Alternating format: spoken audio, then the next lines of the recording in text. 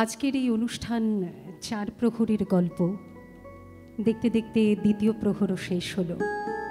আসলে সময়ের সঙ্গে সঙ্গে রাগরাগিনীর ভাষা মনকে যে এত উতলা করে তোলে, তা তো আমরা জানি। এবং সেই উতলা মনকে একমাত্র শান্ত করতে পারেন আমাদের হৃদয়ের দেবতা রবীন্দ্রনাথ। আমরা তৃতীয় প্রহরে প্রবেশ করব।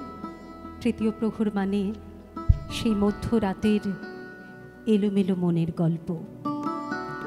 তৃতীয় প্রহরে তিলক কামুদ, বাগিশ্রী অভিলাষে, পরজি বুক নিংড়ে সে রাত বেহাগ হয়ে ভাসে।